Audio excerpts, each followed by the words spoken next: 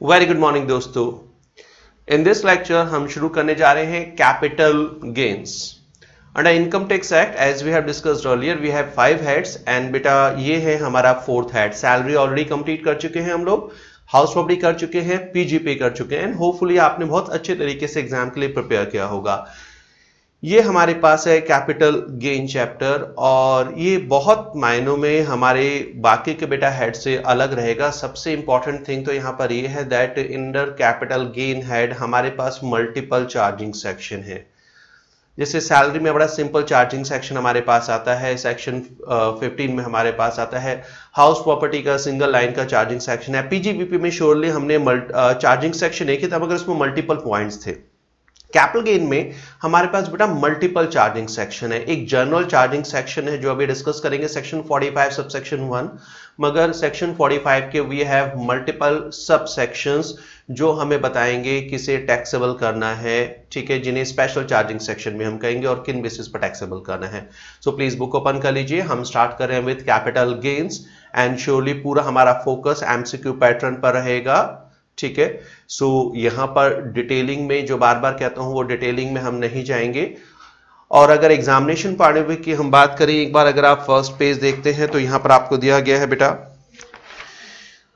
On an average ये chapter बड़ा है, मगर अगर बात करें तो एग्जामिनेशन पॉइंट ऑफ़ व्यू से ये इतना सक्सेसफुल नहीं रहा है। ऑन एन एवरेज चार नंबर के क्वेश्चन बेटा इस चैप्टर में से पूछाते मतलब इतना बड़ा, एक सैलरी के इक्वलेंट हमारा रहेगा ये लेंथ में लगभग।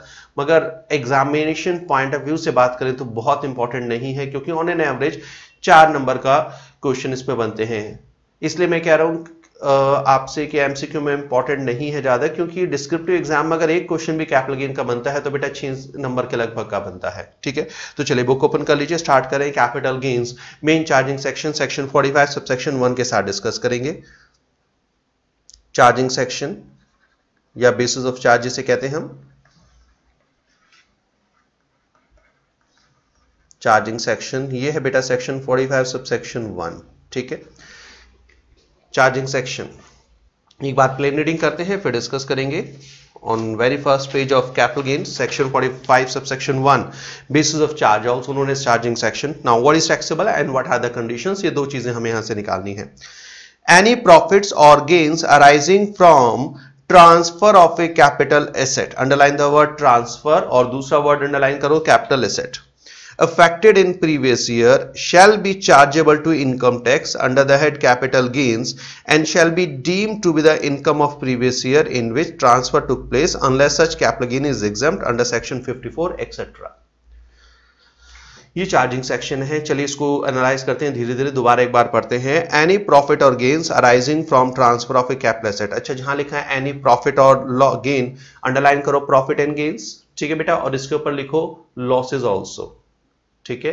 प्रॉफिट एंड गेन्स को अंडरलाइन करो और इसके ऊपर लिखो लॉसेज ऑल्सो आगे बढ़ते हैं। सो एनी प्रॉफिट और gains arising from transfer of a capital asset there must be two things one there should be a capital asset and number two there should be transfer ठीक है? अभी आसान बनाने के लिए, समझने के लिए कैपिटल एसेट मान लीजिए बिल्डिंग और ट्रांसफ़र मान लीजिए सेल ठीक है? अदरवाइज़ तो डेफिनेशन बहुत बड़ी है बट अभी समझने के लिए हम कैपिटल एसेट को बिल्डिंग मान लेते हैं और ट्रांसफ़र को सेल मान लेते हैं। तो क्या कहता है चार्जिंग सेक्शन कि भाई अगर आपने कोई बिल्डिंग बेचकर, कोई प्रॉफिट या गेन कमाया ब्रैकेट में क्या लिखा मैंने? लॉसेज ऑल्सो ठीक है? तो अगर बिल्डिंग को बेचने से कोई प्रॉफिट या लॉस होता है, ठीक है? तो उसे हम कहाँ पर कवर करेंगे? कैपिटल गेर हेड में बेटा कवर करेंगे। Affected in previous year shall be chargeable to income tax under the head capital gain and shall be deem to the income of previous year in which transfer to place ये important thing बेटा यहाँ पर हमारे पास है that हमारा जो capital gain होता है, ये एक्रुअल बेसिस पर टैक्सेबल होता है। क्या लिखा है साफ़ साफ़? दैट जो प्रॉफिट या लॉस आप अर्न कर रहे हैं, ये कैपिटल गेन के नाम से जाना जाएगा और कैपिटल गेन हेड में टैक्सेबल होगा और ये टैक्सेबल होगा सेम ईयर जिसमें आपने सेट को ट्रांसफ़र किया है। सेम ईयर जिसमें आपने सेट को ट्रांसफ़र किया है। इसका मतलब जरा समझिएगा, मान लीजिए आपने 25 मार्च 2017 को बिल्डिंग बेची, ठीक है? पैसा आधा मिल गया, आधा आपको मिल रहा है एक अप्रैल 2017 को। अब जरा समझिए, एक अप्रैल 2017 है सिर्फ़ छह या सात दिन का difference six to seven days मगर बेटा वो नेक्स्ट फाइनेंशियल ईयर में फॉल कर गया। मैटर नहीं करता है।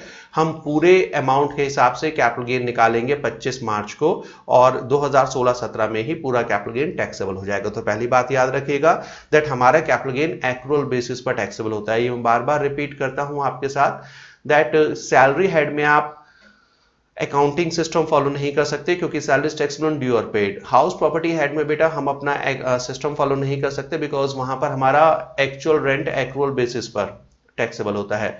सिर्फ़ PGBP head and income from other sources head दो ऐसे हेड हैं जहाँ पर आप फॉलो कर सकते हैं कैश सिस्टम ऑफ़ अकाउंटिंग या mercantile system of accounting capital gain में भी साफ़ साफ़ लिखा हुआ है दैट जब आप ट्रांसफ़र करेंगे उस ईयर में आपका टैक्सेबल होगा अमाउंट ठीक है जी?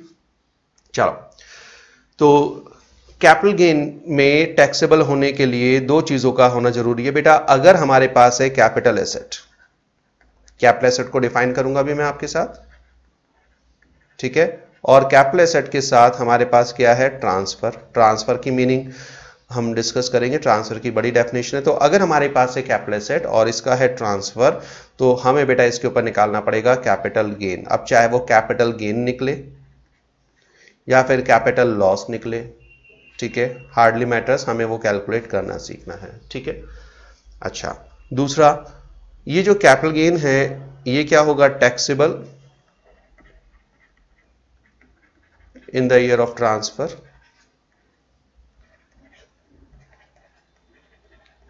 तो चाहे आपको एसेट बेचने पर पैसा अभी मिला है या नहीं मिला है मैटर नहीं करता है, ठीक है? मतलब ये हमारे पास क्या हो गया? एक्रूअल बेसिस पर कैपिटल गेन आपका टैक्सेबल होगा। ठीक है? दूसरा such capital gain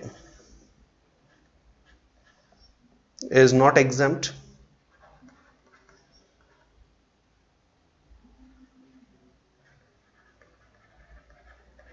under section 54 and family ये जो आपने कैपिटल गेन निकाला बेटा, ये टैक्स फ्री टैक्स फ्री नहीं होना चाहिए एग्ज़ाम नहीं होना चाहिए, क्योंकि अगर ये सेक्शन 54 इन फैमिली में एग्ज़ाम है तो बट ऑब्वियस है हम इसके ऊपर टैक्स चार्ज नहीं कर सकते। मतलब यहाँ से एक चीज़ और नज़र आ रही है कि हमें पढ़ना पड़ेगा सेक्शन 54 एंड फैमिली बहुत सारे सेक्शन हैं जहाँ पर हम ये डिस्कस करेंगे जो आपने प्रॉफिट कमाया है। अगर उस प्रॉफिट का यूज़ आप बताए हुए तरीके में करते हैं तो आपको टैक्स पे नहीं करना पड़ेगा। ठीक है जी?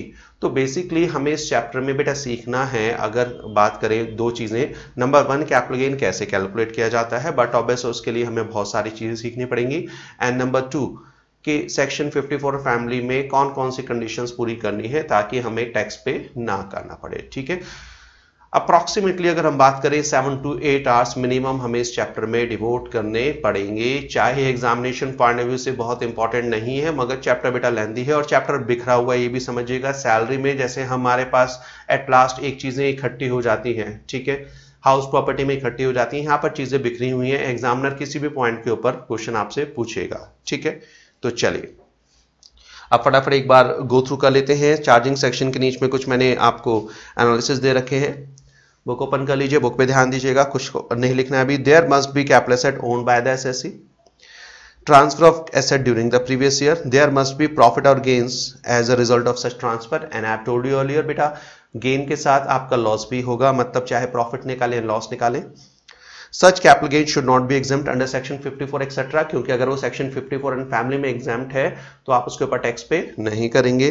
Then capital gain shall be taxable during the year in which transfer took place मतलब कैपिटल गेन हमारा एक्रुअल बेसिस पर टैक्सेबल होगा, चाहे पैसा मिला है या पैसा नहीं मिला। How in following cases capital gain may not be taxable during the year of transfer ना बेटा, ये तीन बुलेट्स आपके पास, तीन पॉइंट नज़र आ रहे हैं, ठीक है? इसके आगे लिख लीजिए। बुलेट से पहले आप लिख लीजिए तीनों के लिए क्या होगा? Capital gain is taxable on receipt basis capital gain is taxable on receipt basis in तीन केसेस में बेटा, हम एक्रोल सिस्टम के बेस पर कैपिटल गेन टैक्सेबल नहीं करेंगे। कैपिटल गेन कैलकुलेट तो कर देंगे जब एसेट ट्रांसफ़र की जा रही है, मगर टैक्सेबल होगा जब आपको एक्चुअली में पैसा मिल जाएगा। तो तीन केसेस हमारे पास होते हैं। सेक्शन 45 सबसेक्शन 1 ए हमारे पास है इंश्योरेंस क्लेम वाला। देन सेक्शन 45 सबसेक्शन 2 हमारे पास होता है conversion of capital asset into stock in trade and number three होता है बेटा, हमारे पास कंपल्सरी एक्यूरेशन ये तीन सिचुएशन हम बाद में अलग से डिस्कस करेंगे, ठीक है? तो ये हमारे पास है चार्जिंग सेक्शन नाउ सबसे इंपॉर्टेंट थिंग दो चीज़ें जो इस लेक्चर में पहले हम कवर करेंगे, बेटा number one what is the meaning of capital asset और अगर इस लेक्चर में टाइम रहा तो श्योरली हम दूसरा पॉइंट डिस्कस करेंगे डेफिनेशन ऑफ़ ट्रांसफ़र ठीक है? तो चलिए बिल्कुल नेक्स्ट वर्ड आपको नज़र आएगा सेक्शन टू क्लॉज 14 सेक्शन याद करके जाइएगा, आपके लिए यूजफुल रहेगा, ठीक है? सेक्शन टू क्लॉज 14 डेफिनेशन किस चीज़ की है? कैपिटल एसेट की डेफिनेशन बेटा दी गई है। Definition of capital asset it means it means एक बार प्लेन रीडिंग फिर डिस्कशन करेंगे। It means property of any kind held by assessee whether और not connected with his business और प्रोफेशन कैपिटल एसेट का मतलब है किसी भी तरह की प्रॉपर्टी एनी काइंड ठीक है? एनी काइंड एनी काइंड अभी डिस्कस करेंगे एनी काइंड और दूसरा पॉइंट क्या है? Any security held by foreign institutional investor which has invested in such securities in accordance with the regulation made under securities and exchange board of India that is SEBI तो first point है, बेटा any as a capital asset means property of any kind whether और not connected with business और profession और दूसरा है हमारे पास securities held by foreign invest institutional investor और उसके आगे आपको दिया गया है एक्सेप्शन अच्छा ध्यान रखिएगा, ये जो एक्सेप्शन आपको दी गई है बेटा, चार एक्सेप्शन है, एक बार पेज टर्न करके देख लीजिए, कुल मिलाकर चार एक्सेप्शन है। ये जो चार एक्सेप्शन आपको नज़र आएँगे। ये चारों एक्सेप्शन पॉइंट नंबर वन पर एप्लीकेबल है प्रॉपर्टी ऑफ़ एनी काइंड ठीक है? ये securities held by foreign institutional investor पर एप्लीकेबल नहीं है, ठीक है? तो आप इसे याद किस तरीके से करेंगे? अभी से जरा देखिएगा। ये तो हो गई टेक्निकल बात। अब आपको याद कैसे रखना है कैपिटल सेट में क्या कवर होता है? देखो। कॉपी कर लेना है इसे capital asset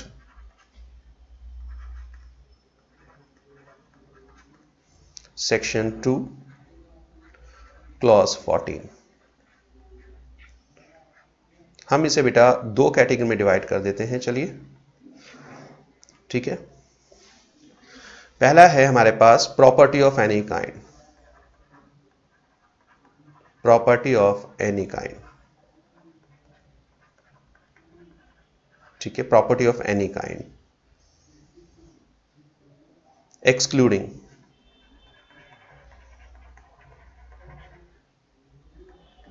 stock and trade.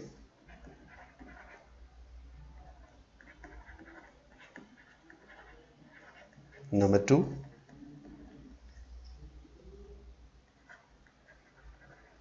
personal effect. Number 3 rural.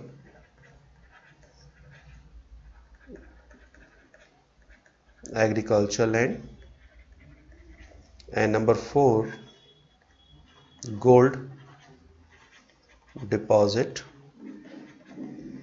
bonds. And I think इसमें एक शायद पॉइंट ऐड किया गया है। यस गोल्ड डिपॉजिट बॉन्ड्स ठीक है, और डिपॉजिट सर्टिफिकेट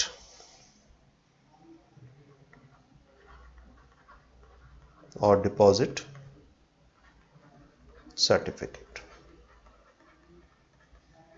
ठीक है? एनालाइज करेंगे किक पॉइंट तो बेटा कैपिटल सेट में कैपिटल सेट का मतलब है प्रॉपर्टी ऑफ़ एनी काइंड ठीक है? मगर इसकी चार एक्सेप्शन होती हैं। और दूसरा हमारे पास है securities securities foreign institutional investor F I I और इसके साथ लिख लीजिए इंक्लूडिंग और रादर इसको थोड़ा सा चलो चेंज करते हैं। इसको करिए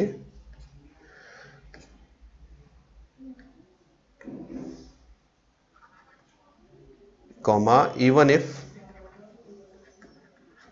held as stock and trade. ठीक है? क्योंकि मैंने कहा था ये चार एक्सेप्शन किस पर एप्लीकेबल है? केवल फ़र्स्ट पॉइंट पर। तो बड़े कैपिटल सेट की डेफिनेशन को दो पार्ट में डिवाइड कर देते हैं। ये अमेंडमेंट अभी सिर्फ़ दो साल पहले हुई है। Securities held by foreign institutional investor even held है स्टॉक एंड ट्रेड ठीक है? इसे बेनिफिट देने की कोशिश की गई है एक फॉरेन इंस्टीट्यूशनल इन्वेस्टर को, अगर वो इंडिया में पैसा इन्वेस्ट करता है, ठीक है? चलिए, अब एक बार बुक पर जाते हैं और पहले यहाँ पर एक बार स्क्रीन पे ध्यान दीजिएगा, फिर बुक पर चलते हैं। बेटा कैपिटल सेट की डेफिनेशन हम दो पार्ट में डिस्कस करेंगे। इस पार्ट को अभी छोड़ दो। Securities held by F F F I I अभी इसको छोड़ दो। ठीक है? इसको अभी छोड़ देते हैं। तो पहला पार्ट जो हमारे पास है डेफिनेशन का वो हुआ क्या है हमारे पास? Capital asset means property of any kind property of any kind और इसकी चार एक्सेप्शन होती है stock in trade personal effect rural agriculture land in gold deposit bonds और डिपॉजिट सर्टिफिकेट चलिए अब एक, एक एक चीज़ हम डिस्कस करते हैं। बुक ओपन कर लीजिए ठीक है? बुक पर ध्यान दीजिएगा। चलिए क्या है? Definition of capital asset definition of capital asset property of any kind, highlight board में दिया गया एनी काइंड। अब बेटा, एनी काइंड का मतलब क्या होता है? एनी काइंड में क्या क्या कवर होता है? चलिए इसे समझते हैं। प्रॉपर्टी ऑफ़ एनी काइंड, किसी भी तरह की प्रॉपर्टी, एनी काइंड।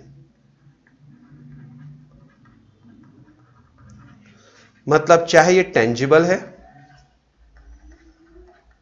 या इंटेंजिबल है? ठीक है? अब जैसे टेंजिबल फॉर एग्ज़ाम्पल बिल्डिंग बहुत सारे एग्ज़ाम्पल हो सकते हैं बिल्डिंग प्लांट मशीनरी फर्नीचर बहुत सारी चीज़ होते हैं, सकती है लैंड भी होगा यहाँ पर तो। और intangible for example goodwill property of any kind for example movable or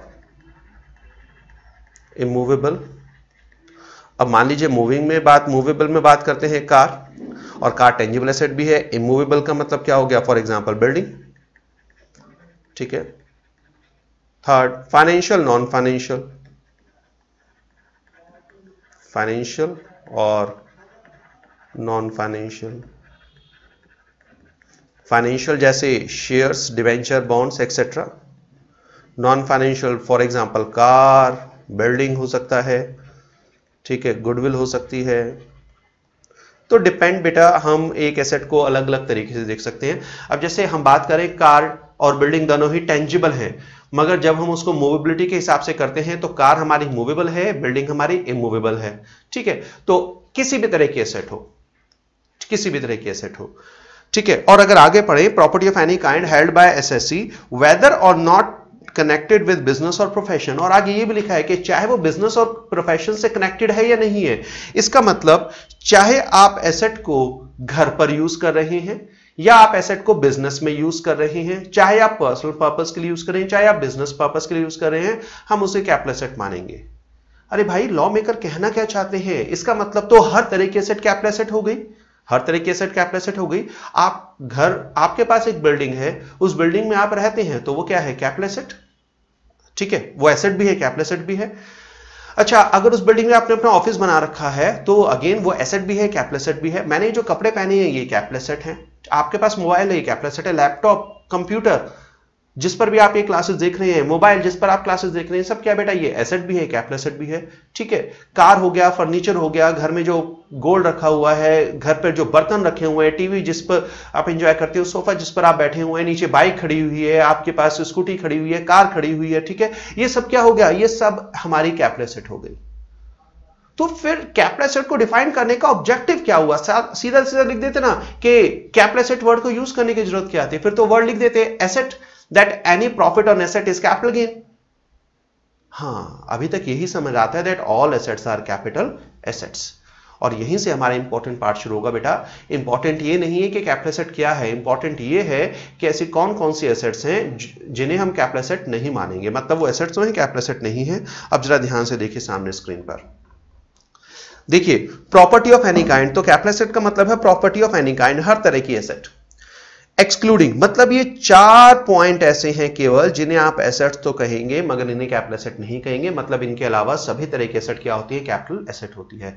तो बेटा इंपॉर्टेंट ये याद रखना है कि ऐसे कौन कौन से एसेट्स हैं जिन्हें कैपिटल एसेट नहीं कहा जाएगा। अगर ये याद हो गया तो इसका मतलब इसके अलावा जितनी भी एसेट्स हैं वो क्या होंगी? कैपिटल एसेट होंगी। और सबसे पहला पॉइंट क्या है? स्टॉक इन ट्रेड ठीक है? स्टॉक इन ट्रेड को हम कैपिटल एसेट नहीं कहेंगे। रीजन लॉजिक के साथ समझाऊँगा मैं आपको।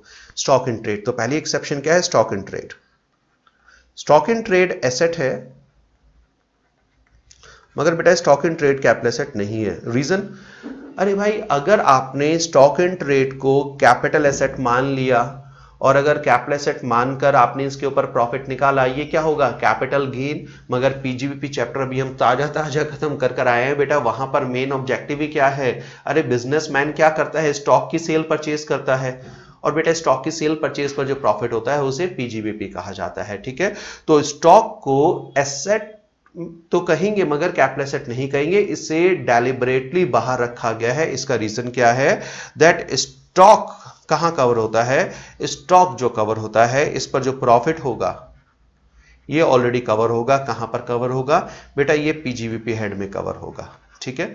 तो क्योंकि स्टॉक की सेल पर होने वाला प्रॉफिट बिज़नेस प्रॉफिट कहलाता है तो इसलिए स्पेसिफिकली इसे कैपिटल गेन से निकाला गया है और कहाँ पर रखा गया है? इसे रखा गया है हमारे चैप्टर पीजीबीपी में। डन पहला एक्सेप्शन बहुत आसान है। दूसरा, इसके ऊपर टाइम डिवोट करेंगे। सेकंड एक्सेप्शन क्या है बेटा? सेकंड एक्सेप्शन हमारे पास है पर्सनल इफ़ेक्ट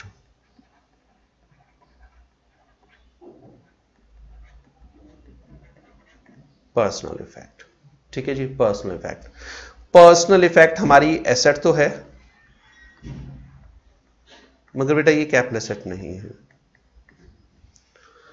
पर्सनल इफ़ेक्ट हमारी एसेट तो है, मगर कैपिटल एसेट नहीं है. मतलब इसके सेल पर अगर कोई प्रॉफिट होता है तो हम उसे कैपिटल गेन नहीं कहेंगे. पर्सनल इफ़ेक्ट का मीनिंग क्या होता है? पहले तो ये समझो पर्सनल इफ़ेक्ट का मीनिंग क्या है?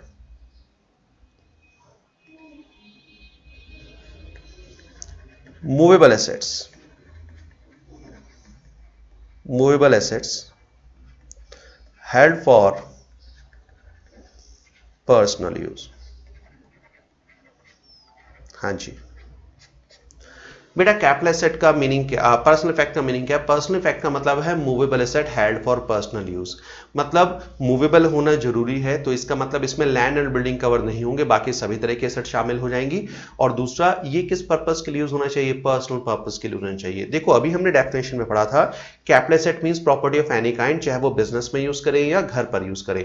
मगर अब हमें क्या बताया गया? अब हमें मैं कहा गया कि भाई देखो, अगर आप मूवेबल एसेट घर पर यूज़ कर रहे हो, आसान शब्दों में कि मूवेबल एसेट अगर आप घर पर यूज़ कर रहे हैं तो वो एसेट तो है, वो कैपिटल एसेट नहीं है। अब एक बार जरा दोबारा पिक्चर दिखाता हूँ मैं आपको। मैंने क्या कहा था? घर पर टीवी है, जिस पर आप मूवी देख रहे हैं सोफा है जिसके ऊपर आप बैठे हुए हैं, कपड़े जो आपने पहने हुए हैं, बर्तन है जिसमें आप मैगी बना रहे हैं, ठीक है? मोबाइल है जिसमें आप गेम खेल रहे हैं लैपटॉप है जिस पर आप काम कर रहे हैं। बेटा, ये सब क्या है? ये आप किस पर्पस के लिए यूज़ कर रहे हो? ये पर्सनल पर्पस के लिए यूज़ कर रहे हो घर पर? तो घर पर जितनी भी मूवेबल एसेट होती हैं, देखो, बहुत आसान तरीके से समझा रहा हूँ इसको ऑब्ज़र्व करना, ध्यान देना।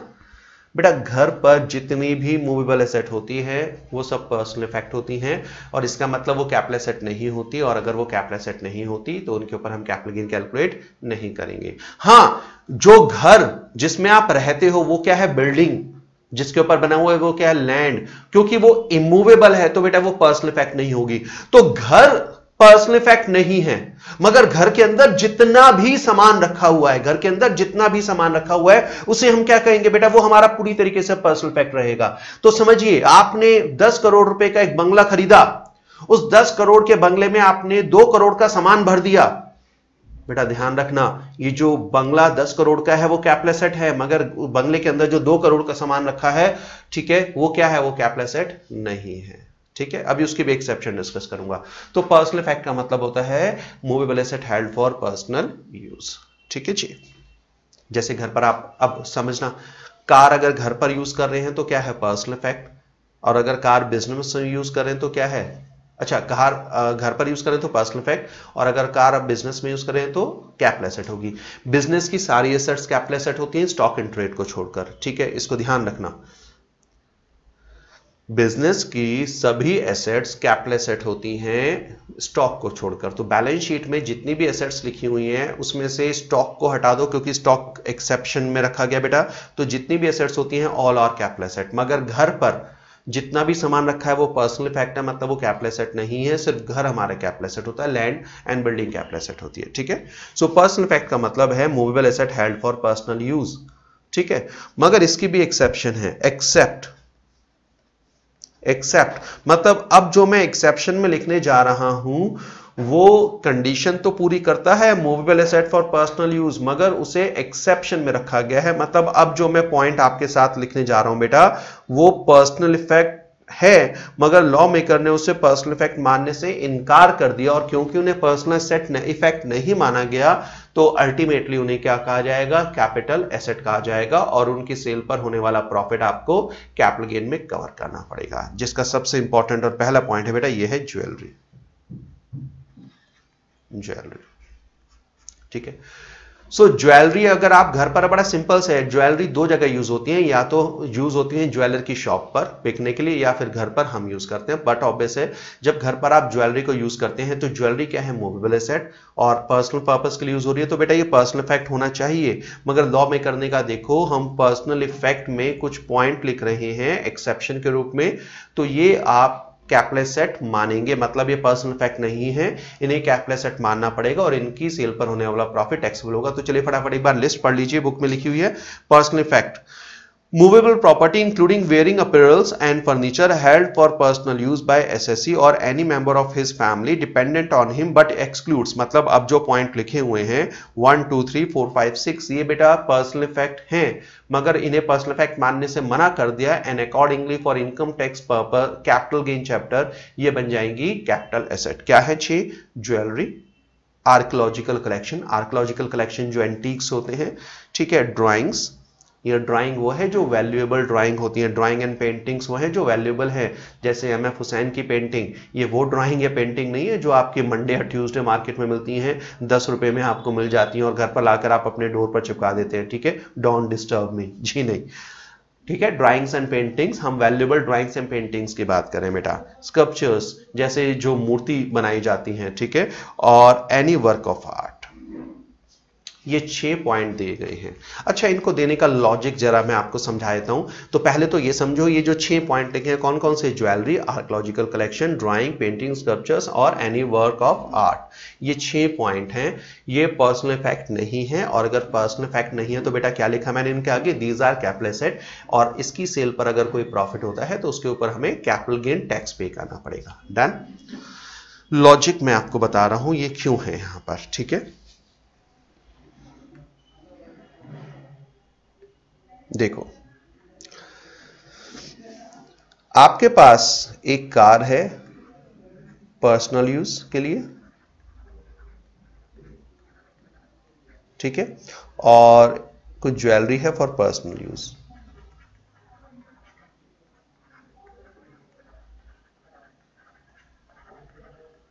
ठीक है, ये कार आपने पाँच लाख की परचेज करी। और ज्वेलरी भी आपने पाँच लाख की परचेज करी। और ये दोनों आपने एक ही दिन परचेज की थी, दस लाख रुपए मिल गया। पाँच लाख की ज्वेलरी खरीदी, पाँच लाख की कार खरीदी, दोनों घर लेकर आ गए। पाँच साल तक आपने यूज़ किया इन्हें यूज़ फॉर चलो वन ईयर आपने घर में एक साल कार को यूज़ किया और घर में एक साल ज्वेलरी को पहना, ठीक है? बप्पीदा बन गया आप भी और ज्वेलरी को पहना हुआ है पाँच लाख की। चलो, मुझे अब एक छोटे से क्वेश्चन का आंसर दो बेटा, ठीक है? अपने आप ही आंसर दो।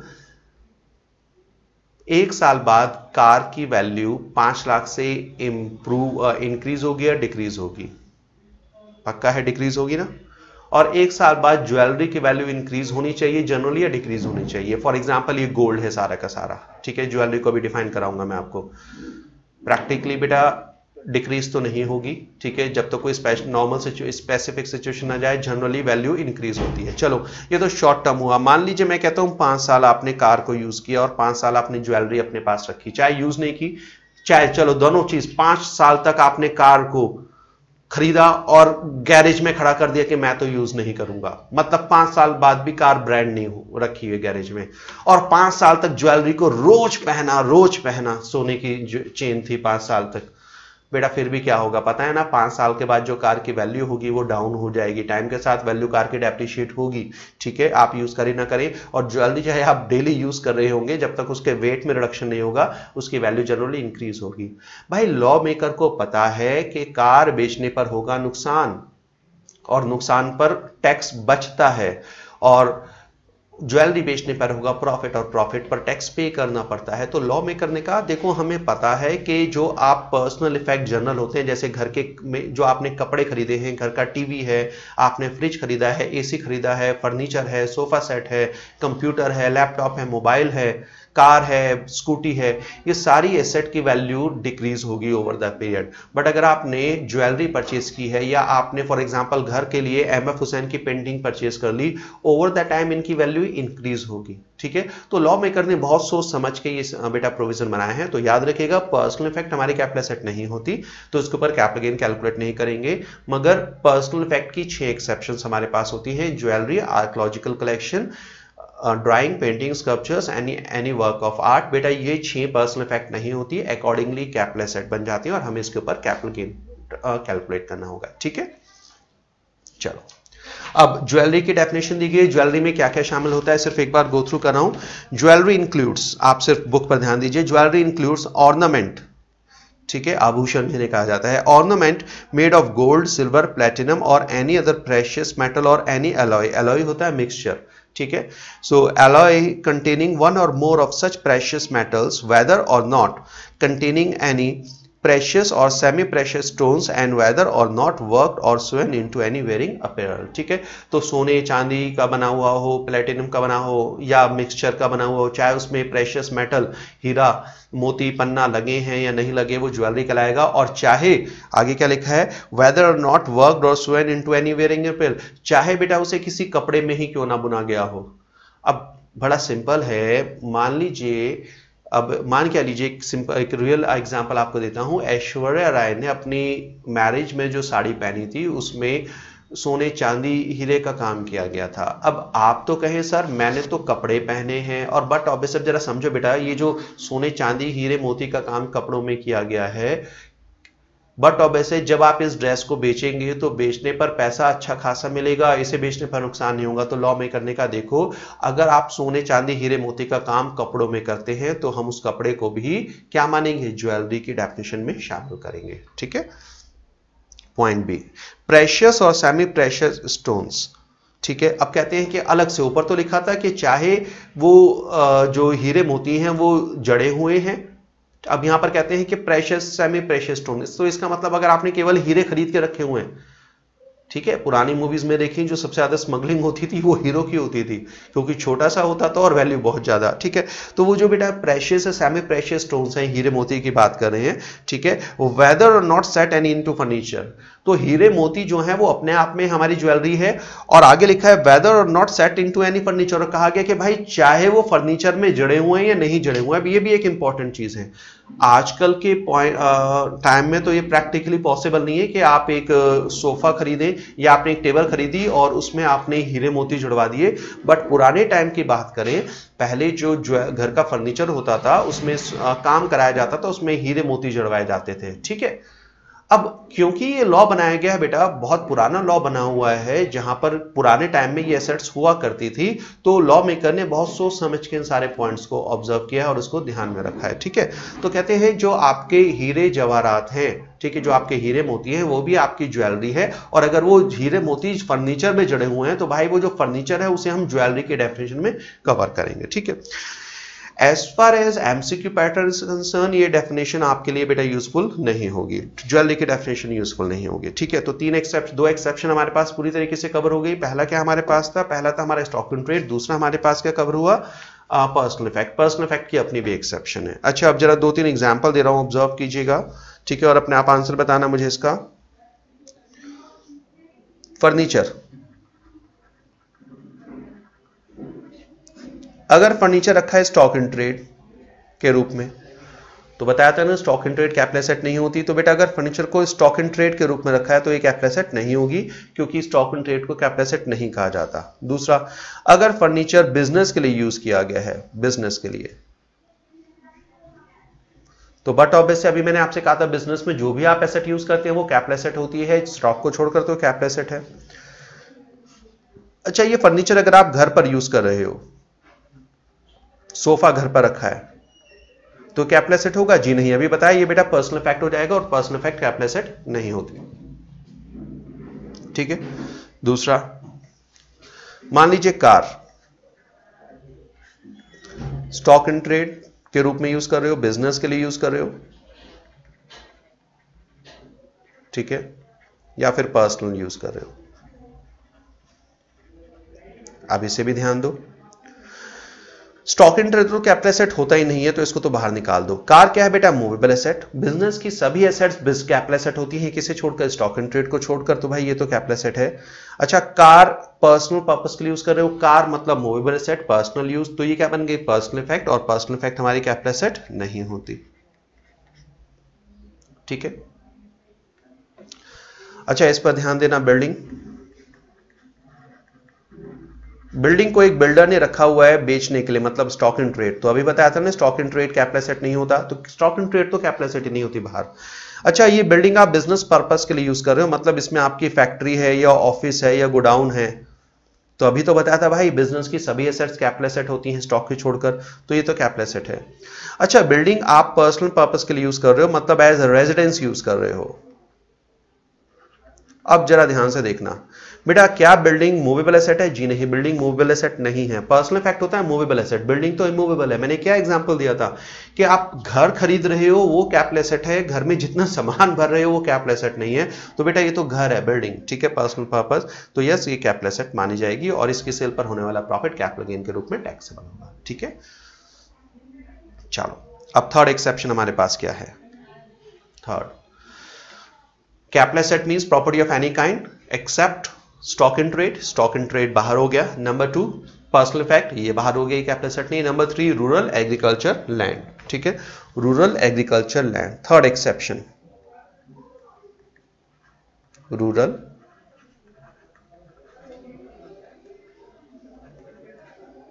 agriculture land ठीक है? एग्रीकल्चर लैंड अगर एक रूरल एरिया में लोकेटेड है, आसान शब्दों में रूरल एरिया को कहा जाता है गाँव। मगर इनकम टैक्स एक्ट में बेटा रूरल वर्ड को डिफाइन किया गया है, जो अभी डिस्कस करेंगे।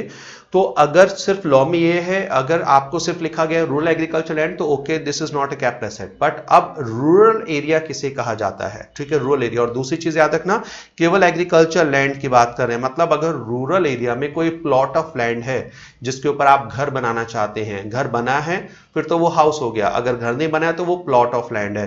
तो याद रखिएगा एग्रीकल्चर लैंड की बात कर रहे हैं। ठीक है रूरल एग्रीकल्चर लैंड तो एग्रीकल्चर लैंड होना चाहिए प्लस रूरल एरिया होना चाहिए, तब वो कैपिटल एसेट नहीं है। इसका मतलब गाँव में अगर आपके पास खेती की जगह, ज़मीन है तो वो कैपिटल एसेट नहीं है।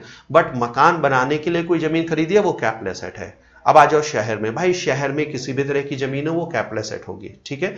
तो याद रखिएगा एग्रीकल्चर लैंड होना चाहिए प्लस रूरल एरिया होना चाहिए, तब वो कैपिटल एसेट नहीं कहलाती। तो गाँव में एग्रीकल्चर लैंड कैपिटल एसेट नहीं है, मगर plot of land capital asset है। शहर में सभी तरह के लैंड चाहे वो एग्रीकल्चर है नॉन एग्रीकल्चर है, वो कैपिटल एसेट कहलाते हैं, ठीक है?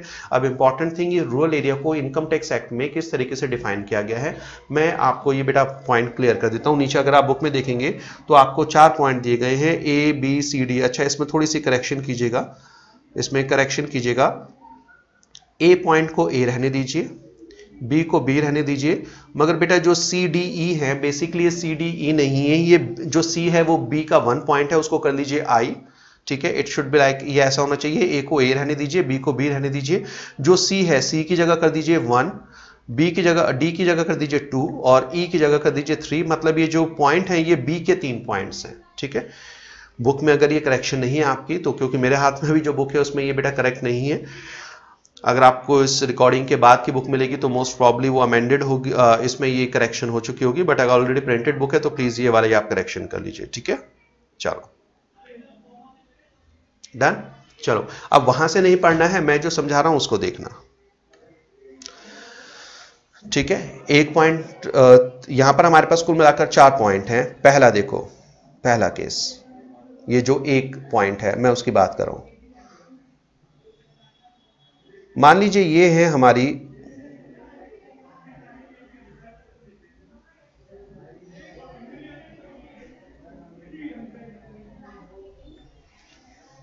ए की बात कर रहा हूँ मैं, ठीक है?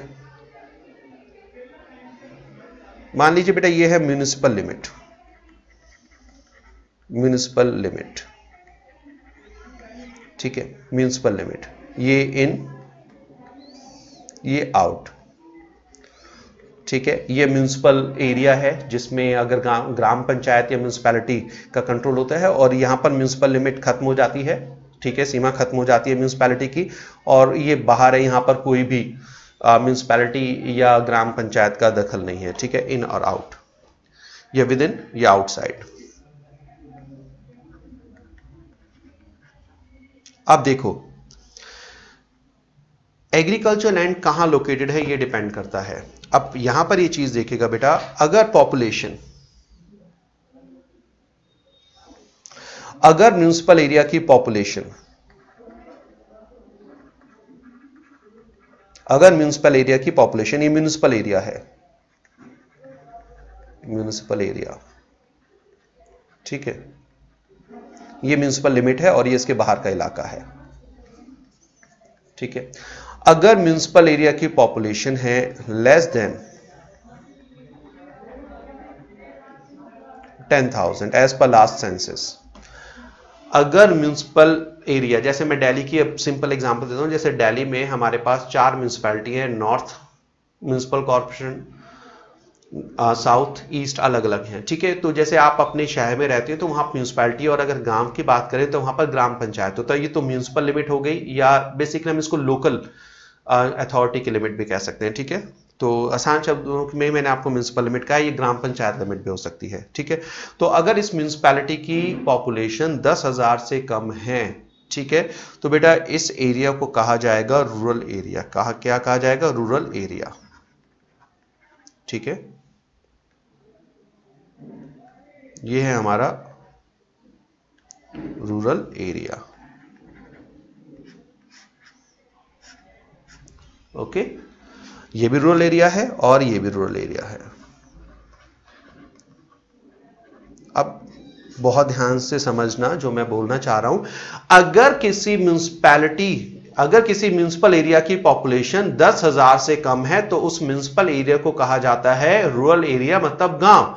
तो बेटा, यहाँ पर अगर एग्रीकल्चर लैंड है, वो भी रूरल एग्रीकल्चर लैंड है, और अगर यहाँ पर कोई एग्रीकल्चर लैंड है तो वो भी क्या होगा रूरल एग्रीकल्चर लैंड तो चाहे हमारा एग्रीकल्चर लैंड म्यूनिसिपल एरिया के अंदर है या बाहर है, उसे कहा जाएगा रूरल एग्रीकल्चर लैंड तो एग्रीकल्चर लैंड प्रॉब्लम नहीं है. व्हाट मैटर्स कि रूरल एरिया किसे कहा जाता है? तो पहला पॉइंट जो ए पॉइंट लिखा है आपके बुक में, वो क्या है?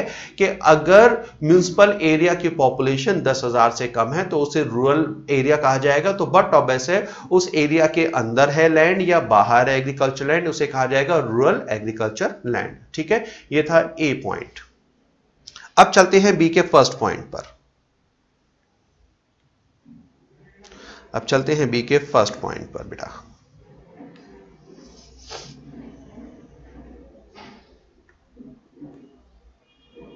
देखो बी पॉइंट बी का फ़र्स्ट पॉइंट ठीक है? अब इसे देखना। अगर पॉपुलेशन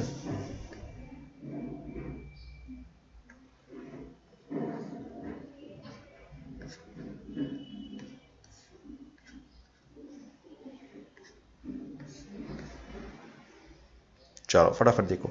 अगर पॉपुलेशन है बेटा more than ten thousand but up to one lakh अगर पॉपुलेशन दस हज़ार से ज़्यादा है, मगर मैक्सिमम कितना है? एक लाख। तो बेटा, ये जो विद इन ये जो म्यूनिसिपल एरिया है, इसे हम क्या नाम देंगे बेटा? इसका नाम होता है अर्बन एरिया अर्बन एरिया ठीक है? जहाँ पर म्यूनिसिपल लिमिट खत्म हो रही है, उसके दो किलोमीटर तक।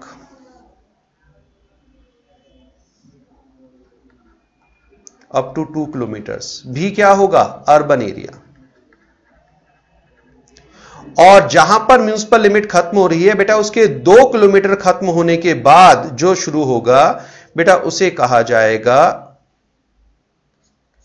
रूरल एरिया बियॉन्ड ठीक है, ये है हमारा रूरल एरिया मतलब अगर किसी म्यूनिसिपल एरिया की पॉपुलेशन दस हज़ार से ज़्यादा है, एक लाख तक है मतलब दस हज़ार से एक लाख तक है, तब उस म्यूनिसिपल एरिया को कहा जाएगा अर्बन एरिया यही नहीं, जहाँ पर म्यूनिसिपल एरिया खत्म हो रहा है, उसके दो किलोमीटर के रेडियस में, चारों तरफ़, ठीक है, दो किलोमीटर के रेडियस में रेडियस ठीक है? और आ, में जो इलाका होगा वो भी अर्बन एरिया कहलाएगा। फिर जहाँ पर दो किलोमीटर खत्म होंगे उसके बाद का एरिया क्या कहलाएगा? बेटा हमारा रूरल एरिया इसका मतलब अगर यहाँ पर कोई लैंड है हमारे एग्ज़ाम्पल में तो ये क्या है? अर्बन एग्रीकल्चर लैंड मतलब ये कैप्लेसेट है। अगर इस दो किलोमीटर के रेडियस में कोई एग्रीकल्चर लैंड है तो वो भी क्या है? कैप्लेसेट अगर यहाँ पर कोई एग्रीकल्चर लैंड है बेटा इसे कहा जाएगा rural agriculture land and it is not a capital ठीक है? बी का सेकंड पॉइंट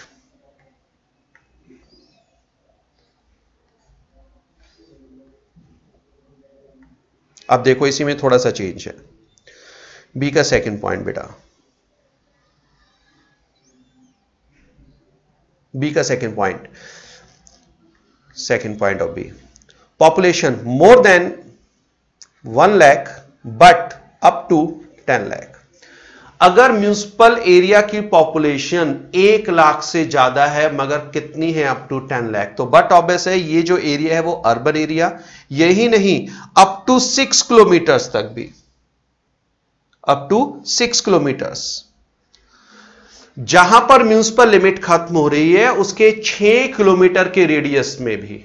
जो एरिया है बेटा, वो क्या होगा? अर्बन एरिया छह किलोमीटर के बाद का जो इलाका होगा, वो क्या कहलाएगा? रूरल एरिया ठीक है? तो इसका मतलब इस लैंड को अगर land within municipal limit है तो ये क्या होगा? अर्बन एग्रीकल्चर लैंड अगर इस 6 किलोमीटर के रेडियस में एग्रीकल्चर लैंड लोकेटेड है तो ये भी क्या है? अर्बन एग्रीकल्चर लैंड और ये क्या है? कैपिटल सेट हाँ, अगर 6 किलोमीटर के रेडियस के बाद इस एरिया में एग्रीकल्चर लैंड है बेटा तो ये क्या कहलाएगा? Rural agriculture land and it is not a capital ठीक है? यहाँ पर छह। तो ये डेफिनेशन याद करके जानी है डिस्टेंस याद करना है पॉपुलेशन याद रखनी है, इसके ऊपर क्वेश्चन बना हुआ है। लास्ट बी का third point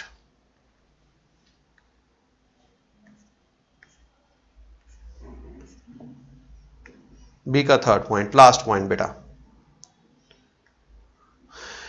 If population is more than 10 lakh अगर पॉपुलेशन 10 लाख से ज़्यादा है तो बट ऑब्वियस है ये जो विद इन म्यूनिसिपल एरिया है, ये क्या है? अर्बन एरिया और यहाँ पर बेटा जो डिस्टेंस होता है, यहाँ पर होता है 8 किलोमीटर्स तो जो म्यूनिसिपल एरिया है, वो अर्बन एरिया है.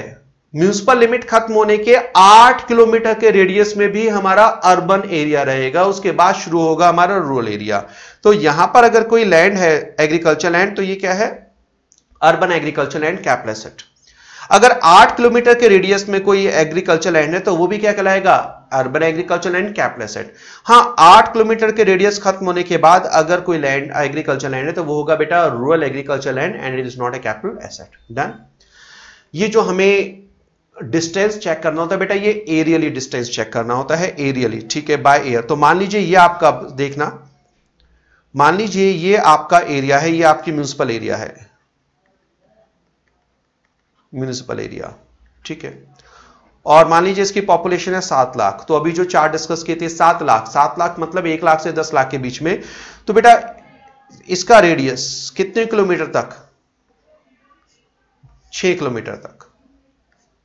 सिक्स किलोमीटर्स ठीक है? तो क्योंकि म्यूनसिपल एरिया की पॉपुलेशन सात लाख है तो ये भी एग्रीकल ये भी हमारा अर्बन एरिया है। इसके छह किलोमीटर के रेडियस में जो एरिया फैला हुआ है, वो भी हमारा अर्बन एरिया है, ठीक है? इसके बाद का जो इलाका है, ये वाला, ये होगा हमारा रूरल एरिया और इसमें अगर कोई लैंड लोकेटेड है अर्बन एग्रीकल्चर लैंड वो होगा रूरल एग्रीकल्चर लैंड अच्छा ये जो डिस्टेंस चेक करते हैं बेटा, ये बाय रोड नहीं एरियली चेक करते हैं। हो सकता है रोड देखो यहाँ पर स्क्रीन पर। रोड कुछ इस तरीके से घूमती हुई जा रही है और जब यहाँ तक पहुँचती है तो रोड का डिस्टेंस है दस किलोमीटर, मगर एरियली अगर आप चेक करते हो, यहाँ से यहाँ तक तो डिस्टेंस है छह किलोमीटर तो हमें डिस्टेंस एरियली चेक करना होता है, ठीक है? अब ये एरियल हमारे एग्ज़ाम में नहीं आएगा, आपको सिर्फ़ डिस्टेंस और पॉपुलेशन के बेस पर पॉइंट याद रखने हैं। डन खत्म? तो चलिए, तीन एक्सेप्शन हमारे पास कवर हो गई। Rural agriculture land is not a capital asset ठीक है? चलो। Last gold deposit bonds fourth point, gold deposit bonds issued under gold deposit scheme 1999 ये बहुत पुरानी स्कीम है, गोल्ड डिपॉजिट बॉन्ड्स। गोल्ड दीजिए, उसके बदले आपको बॉन्ड, ठीक है? दूसरा, और deposit certificate issued under gold monetisation scheme 2015 gold monetisation scheme, ये दोनों स्कीम के हैं आपके पास कि गोल्ड दीजिए, उसके बदले आपको इक्वल वैल्यू के बॉन्ड्स मिल जाएँगे। ये बॉन्ड्स आप अपने पास रखिए, ठीक है?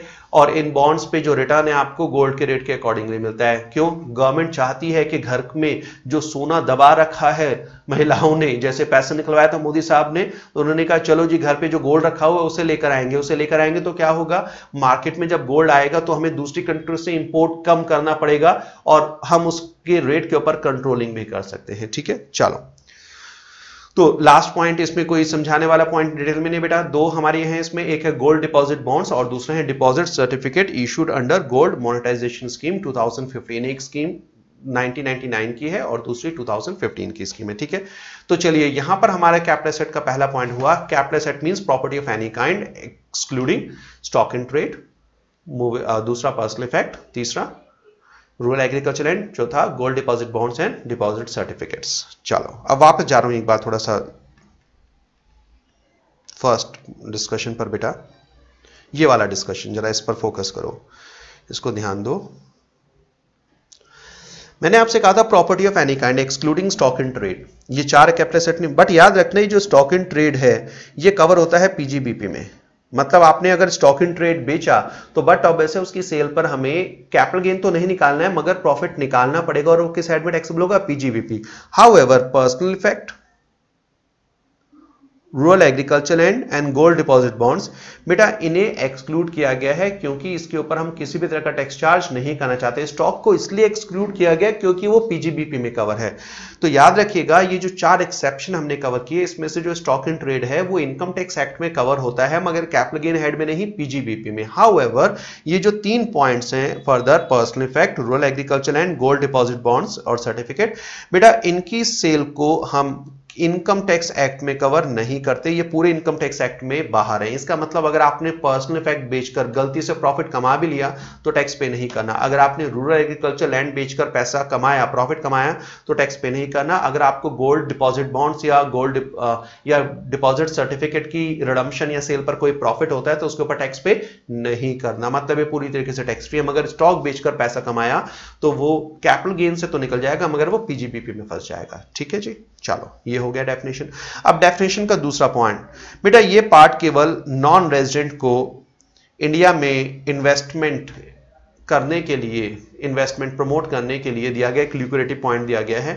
उन्हें कहा गया, देखो भाई, अगर आप फॉरेन इंस्टीट्यूशनल इन्वेस्टर हो फॉरेन मतलब नॉन रेजिडेंट इंस्टीट्यूशनल मतलब जो बल्क में लेकर आता है इन्वेस्टर ठीक है? मतलब जो डेली बेसिस पर नहीं कर रहा है। तो अगर आप फॉरेन इंस्टीट्यूशनल इन्वेस्टर हैं ठीक है, और इंडिया में आप बल्क में परचेज कर रहे हैं, ठीक है सिक्योरिटी सिक्योरिटी मतलब शेयर डिवेंचर बॉन्ड्स एक्सेट्रा तो आपने जो इंडिया में शेयर डिवेंचर बॉन्ड्स परचेज किए हैं, चाहे आपने उसे as a stock in trade he purchase क्यों ना किया हो, हम उसे कैपिटल एसेट ही मानेंगे, समझना। चाहे हमने उसे as a stock in trade ही क्यों ना लिया हो, हम उसे कैपिटल एसेट मानेंगे। लॉजिक ये है क्योंकि जब कैपिटल गेन निकालकर टैक्स पे किया जाएगा, बेटा, इस केस में कंसेशनल रेट ऑफ़ टैक्सेशन दिया गया है ताकि हम नॉन रेजिडेंट को इनवाइट करें कि आओ, हमारे पास पैसा इन्वेस्ट करो, हम आपसे कम टैक्स चार्ज करेंगे। ठीक है जी? चलो। तो capital asset means property of any kind excluding one two three four और दूसरा पॉइंट क्या है?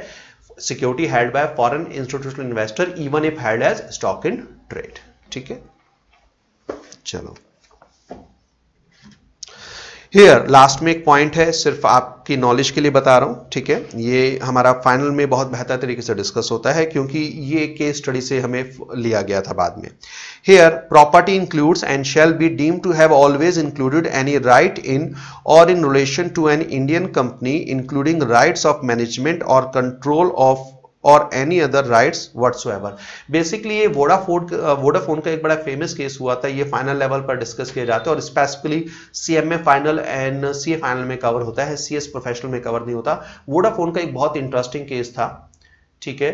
और बहुत लंबे टाइम तक वो केस चला और सुप्रीम कोर्ट ने जो डिसीज़न दिया था, वो वोडाफोन के फेवर में दे दिया था। उस केस उस डिसीज़न को नलीफाई करने के लिए इनकम टैक्स एक्ट में बेटा बहुत सारी अमेंडमेंट्स की गई थी, ये it is one of them ठीक है? तो यहाँ क्या लिखा है?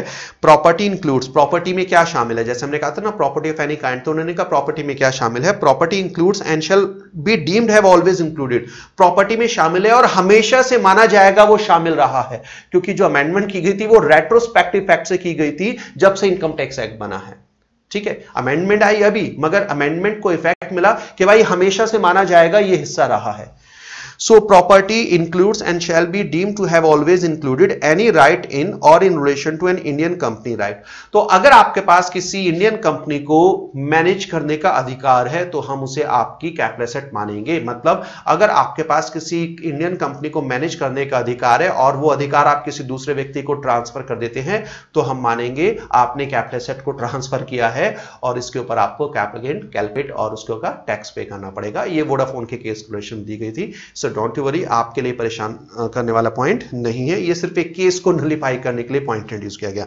डन तो हमारे लिए कैपिटल सेट का मीनिंग क्या है बेटा? हमारे लिए कैपिटल सेट का मीनिंग जो हमें एग्ज़ाम तक कैरी करना है प्रॉपर्टी ऑफ़ एनी काइंड ठीक है? वेदर और नॉट कनेक्टेड विद बिज़नेस और profession exception one two three four और दूसरे हाथ में क्या है? Security held by foreign institutional investor even if held a stock in trade ठीक है? ये हमारे पास हो गया, ठीक है? ये हमारे पास वन पॉइंट है और ये हमारा सेकंड पॉइंट है। सो फ़र्स्ट एंड सेकंड ये पॉइंट आप करेंगे। हाँ जी, बड़ा लंबा डिस्कशन हो गया कैपला सेट पर।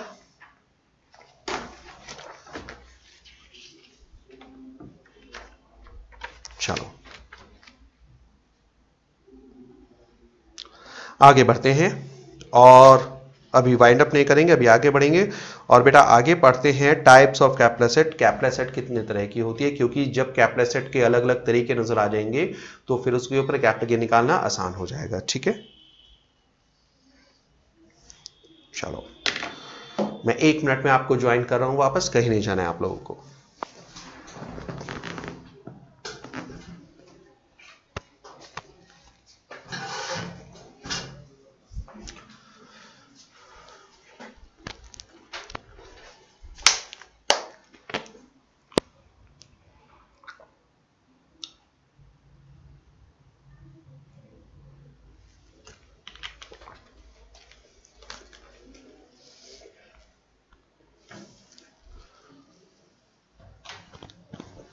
हाँ जी, चलिए।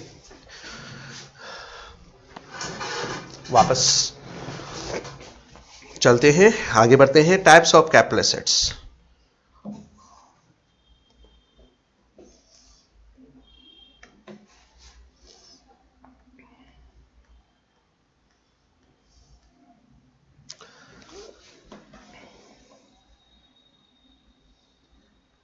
capital assets बेटा कैपिटल एसेट दो कैटेगरी में डिवाइड की जाती है। Short term capital asset.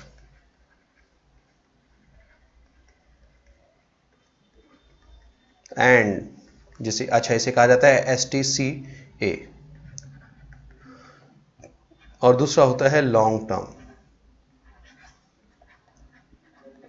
Capital asset.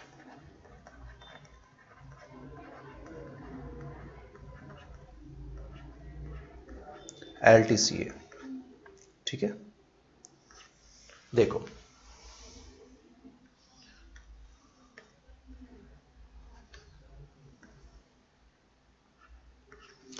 Book open कर लीजिए, आप देखिए। अगर बेटा मैं बेंच मार्क की बात करूँ तो बेसिकली यहाँ पर हमें चेक करना होता है period of holding period of holding ठीक है? पीरियड ऑफ़ होल्डिंग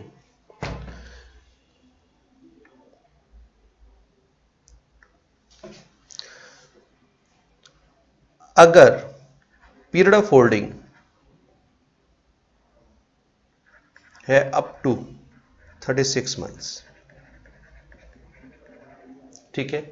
तो हमारी जो एसेट होती है, उसे कहते हैं शॉर्ट टर्म कैपिटल एसेट और अगर पीरियड ऑफ़ होल्डिंग है बेटा मोर देन 36 मंथ्स तो जो कैपिटल एसेट होती है, उसे कहते हैं लॉन्ग टर्म कैपिटल एसेट ठीक है? तो 36 मंथ्स तक किसी भी एसेट को शॉर्ट टर्म कैपिटल एसेट कहा जाता है। 36 मंथ्स के बाद वो एसेट बन जाती है लॉन्ग टर्म कैपिटल एसेट अब ये पीरियड ऑफ़ होल्डिंग कैसे निकालते हैं? थोड़ा सा इसको समझिएगा। ये बहुत ज़रूरी है। बेटा पीओएच निकालने के, मान लीजिए ये है हमारे पास डेट ऑफ़ परचेज एक साथ इसे कर देते हैं थर्टीन वन सेवन थर्टीन ये है डेट ऑफ़ परचेज ठीक है? और हमने इसे सेल कर दिया पंद्रह सात दो हज़ार सोलह में. सोल्ड अब आपके पास एक एसेट इतने पीरियड के लिए है. ठीक है? अब आपको बताना है कि पीरियड ऑफ़ होल्डिंग कितना है। तो पीरियड ऑफ़ होल्डिंग में हमेशा याद रखिएगा, पीरियड ऑफ़ होल्डिंग में जो डेट ऑफ़ परचेज है बेटा, वो तो शामिल करते हैं, मगर डेट ऑफ़ सेल शामिल नहीं करते। हमें पीरियड ऑफ़ होल्डिंग में जो सेल का दिन है उसे एक्सक्लूड करना होता है। मतलब जब मैं पीरियड ऑफ़ होल्डिंग निकालूँगा तो मुझे पीरियड ऑफ़ होल्डिंग किस डेट तक निकालना है? क्योंकि 15 तारीख को सेल किया तो मुझे पीरियड ऑफ़ होल्डिंग निकालना है 14 तारीख तक 14 7 2016 ठीक है तो याद रखिएगा, जब हम पीओएच पीरियड ऑफ़ होल्डिंग निकालते हैं तो परचेज की डेट को तो इंक्लूड करते हैं मगर सेल का दिन एक्सक्लूड करते हैं, उसके एक दिन पहले तक आपको लेना है, ठीक है? अब यहाँ से यहाँ तक देखो, हमारा 36 मंथ्स है या उससे ज़्यादा है। अगर आप एग्जैक्टली exactly यहाँ से यहाँ तक निकालेंगे तो बेटा ये हमारे पास होगा 36 मंथ्स एंड 14 डेज़ ठीक है, अगर आप ध्यान से इसे ऑब्ज़र्व करते हैं क्योंकि हमारा अगर एक जून, एक जुलाई को शुरुआत हुई थी तो जो खत्म होंगे 36 महीने या तीन साल, वो होंगे 30 जून को, ठीक है? तो ये होंगे 36 मंथ्स 14 डेज़। अब क्योंकि 36 मंथ्स 14 डेज़ हैं, and it is more than 36 months तो इसका मतलब जो हमारा पीरियड ऑफ़ होल्डिंग है, that is more than 36 months.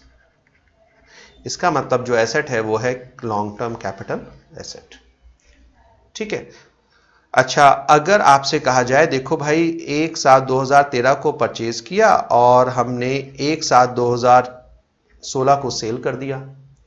तो देखो, ये तो पीरियड ऑफ़ होल्डिंग में कवर नहीं होगा। कहाँ तक लेना है बेटा? 30 जून 2016 तक चेक करेंगे और अगर आप एग्जैक्टली exactly कैलकुलेट करेंगे इस डेट से इस डेट तक तो ये आएँगे 36 मंथ्स एग्जैक्टली ना एक दिन कम, ना एक दिन ज़्यादा। क्योंकि 36 मंथ्स को क्रॉस नहीं कर रहा तो 36 मंथ तक जो एसेट होती हैं, वो होती हैं हमारे पास शॉर्ट टर्म और उसके बाद लॉन्ग टर्म तो पीरियड ऑफ़ होल्डिंग कैलकुलेट करना बहुत ज़रूरी होता है. तो now last time period of holding निकालते हुए परचेज की डेट तो लेते हैं, मगर सेल की डेट को बेटा एक्सक्लूड करना होता है. एक दिन पहले तक हम कैलकुलेशन करते हैं पीओएस निकालते हैं. तो इन जनरल 36 मंथ्स तक अगर पीरियड ऑफ़ होल्डिंग है तो शॉर्ट टर्म और अगर पीरियड ऑफ़ होल्डिंग 36 मंथ से ज़्यादा है तो एसेट बन जाती है लॉन्ग टर्म कैपिटल एसेट मगर इसकी कुछ एक्सेप्शन भी हैं आइए पढ़ते हैं। बुक ओपन कर लीजिए। और ये इंपॉर्टेंट है क्योंकि इसमें फाइनेंस एक्ट 2016 ने बेटा अमेंडमेंट की है तो एग्ज़ाम में आने के चांसेस अच्छे हैं। और रादर इसमें तो जो अभी बजट आए रिसेंटली उसमें भी अमेंडमेंट आ गई है। अच्छा एक चीज़ में आ, वैसे आप लोगों को तो क्लियर करने की मुझे ज़रूरत नहीं है यूट्यूब पे हमें क्लियर करने की ज़रूरत होती है। यहाँ पर तो आपको बिल्कुल लेटेस्ट लेक्चर मिलेंगे। बेटा बजट 2016 जो आया 2017 जो आया है, वो हमारे एग्ज़ाम में एप्लीकेबल नहीं है, ठीक है? तो जो आपको जो भी क्लासेस हम यहाँ पर दे रहे हैं, वो आपके एग्ज़ाम के लिए पूरी तरीके से अपडेटेड है। तो आप परेशान मत होइएगा कि सर, ये नई चीज़ आई है एप्लीकेबल है, नहीं है, क्योंकि अगर कोई नई अमेंडमेंट आती है और जो आपके एग्ज़ाम के लिए एप्लीकेबल है, बेटा इट इज़ माई रिस्पॉन्सिबिलिटी कि मैं टाइमली वो आप लोगों को रिकॉर्ड करके प्रोवाइड कर दूँगा। ठीक है? चलो। So types of capital asset types of capital asset book open कर ली short term capital asset section two clause 42A याद रहता है, गुड, नहीं तो कोई बात नहीं। Section. A capital asset held by SSE for not more than 36 months immediately preceding the date of its transfer. Immediately preceding the dates of its transfer. तो period of holding में हम बेटा date of transfer नहीं शामिल करते उसके एक दिन पहले तक चेक करते हैं तो अगर कोई capital asset 36 मंथ तक आपने अपने पास रखी है preceding the date of its transfer तो कहलाती है short term capital asset ठीक है नेक्स्ट पेज पर आइएगा और नेक्स्ट पेज पर लिखा है long term capital section two clause 29 A और उसके लिखा है लॉन्ग टर्म कैपिटल एसेट का मीनिंग क्या है? Any capital asset which is not a short term capital asset तो बेसिकली हमें शॉर्ट टर्म कैपिटल एसेट को समझना है। मोटा मोटा डिमार्केशन ये है हमारा। 36 मंथ तक शॉर्ट टर्म 36 मंथ के बाद लॉन्ग टर्म मगर बेटा कुछ ऐसी एसेट है जहाँ पर 36 नहीं 24 मंथ चेक करते हैं या 12 महीने चेक करते हैं। आइए उसके ऊपर डिस्कशन करते हैं। ये बहुत इंपॉर्टेंट है।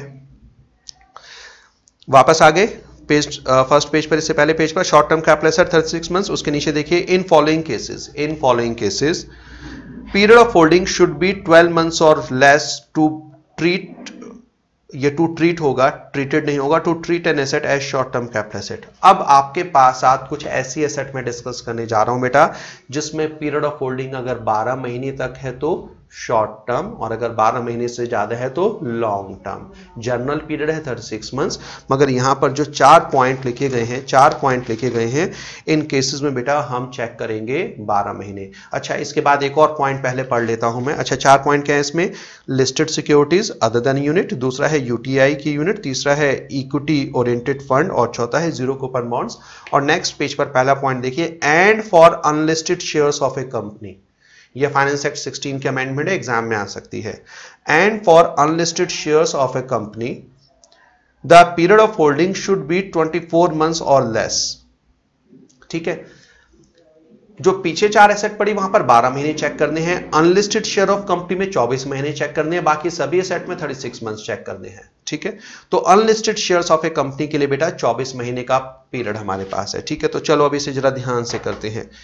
इसके नोट्स बना लीजिए। सबसे पहले अब हमारे पास क्या है? पहला पॉइंट क्या है? बारह महीने वाला a security listed in unrecognised stock exchange other than units other than units security listed तो इसका मतलब listed shares debentures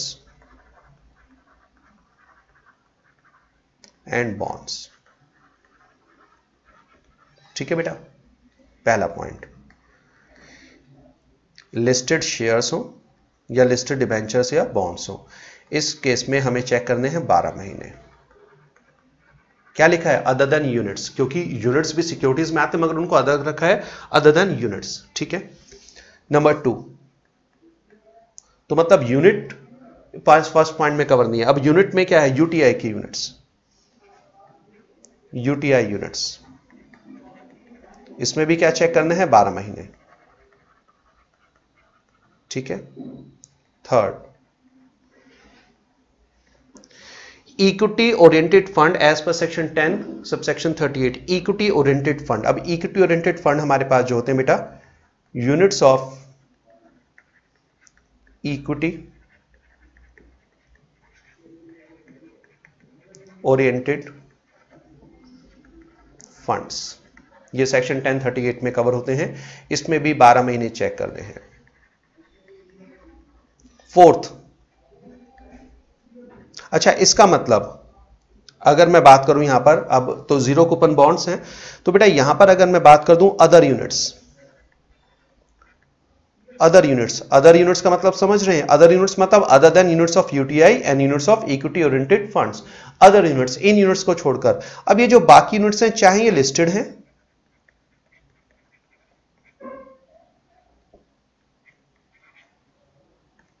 या लिस्टेड है बेटा। फ़र्क नहीं पड़ता। इनके लिए 36 मंथ्स चेक करते हैं। इनके लिए कितना चेक करेंगे? 36 मंथ्स ठीक है?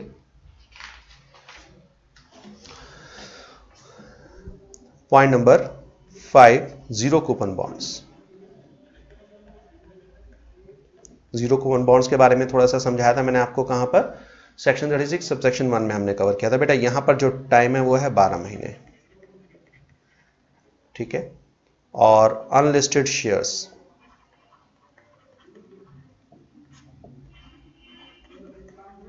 अनलिस्टेड शेयर्स अब इस पे एक, पहले ये ट्वेंटी थर्टी सिक्स मंथ्स होता था बट अब ये कितना हो गया? ट्वेंटी फोर मंथ्स ठीक है?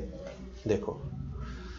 ये बेटा आपको पीरियड याद रखना है, ठीक है? बाकी सभी एसेट्स में तो सिर्फ़ 36 मंथ्स वाला कैटेगरी है। 36 मतलब building land plant machinery furniture ठीक है? अगर इनको ध्यान रखना है थोड़ा सा। तो जैसे ज्वेलरी की बात करते हैं बिल्डिंग की बात करते हैं लैंड की बात करते हैं बेसिकली जो क्वेश्चन आता है वो हाउस के ऊपर आता है, ठीक है? तो वहाँ पर 36 मंथ्स का पीरियड आपको ध्यान रखना है। चलो अब इसको और अच्छी तरीके से चेक करते हैं। शेयर्स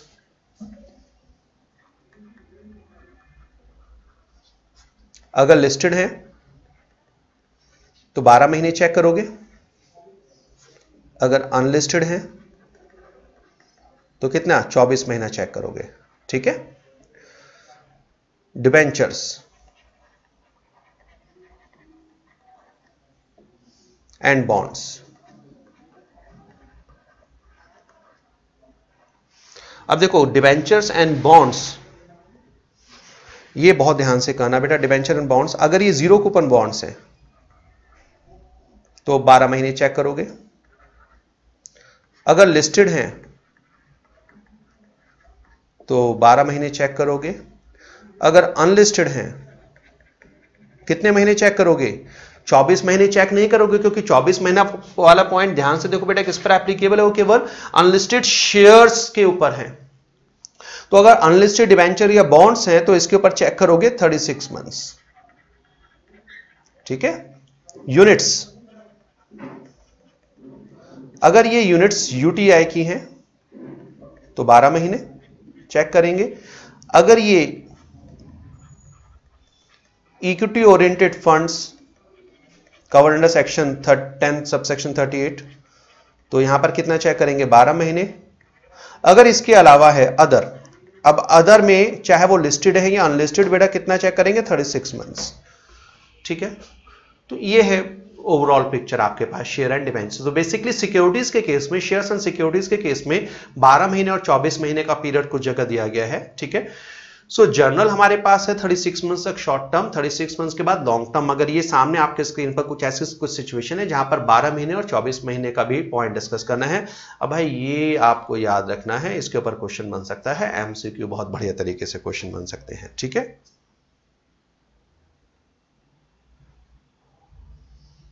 जैसे unlisted share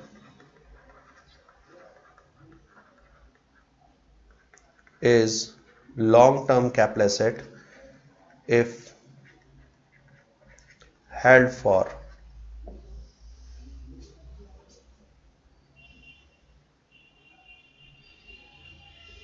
unlisted share is long-term capital asset is held for more than 12 months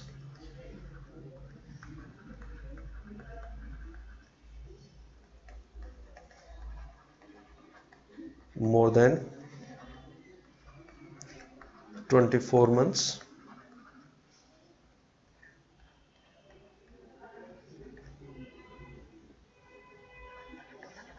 More than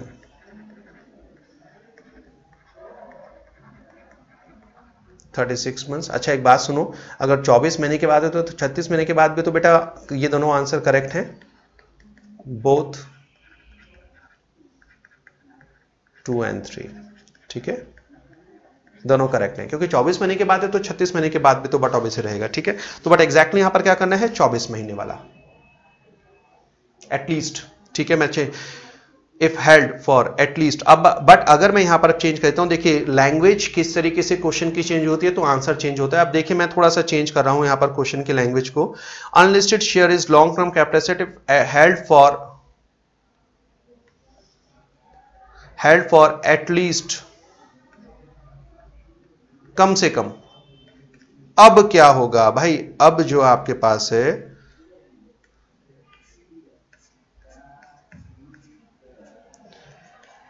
समझिएगा बेटा, अब।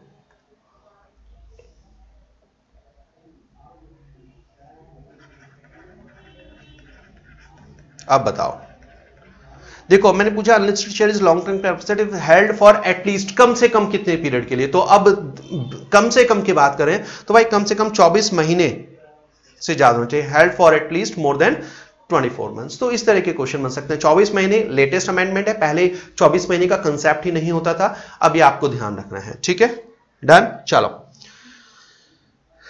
चले बेटा दैट्स इट यहाँ पर हमारा फ़र्स्ट लेक्चर कवर होता है। हमने कैपिटल एसेट के डेफिनेशन को पूरी डिटेल में डिस्कस किया है। हमने कैपिटल एसेट के दो तरीकों को डिस्कस किया है। और अब बड़ा छोटा सा कंसेप्ट है, अगर मैं वाइंड अप करते हुए आपको बताऊँ। देखिए बेटा कैपिटल गेन कैपिटल एसेट की ट्रांसफ़र पर कैपिटल गेन तो शॉर्ट टर्म कैपिटल एसेट पर होगा शॉर्ट टर्म कैपिटल गेन और लॉन्ग टर्म एसेट पर होगा लॉन्ग टर्म कैपिटल गेन ये याद रखना, क्योंकि एमसीक्यू है और जो अभी तक मैंने पढ़ा है, इस लेक्चर में से कम से कम एक से दो क्वेश्चन बन सकते हैं, क्योंकि एवरेज चार मार्क्स रही है आपके एग्ज़ाम में इस चैप्टर से। तो आई एम नॉट एक्सपेक्टिंग बहुत सारे क्वेश्चन मगर कम से कम एक क्वेश्चन तो रहेगा, और क्योंकि जो अमेंडमेंट है मेन वो आपके पास types of capital twenty four months में है।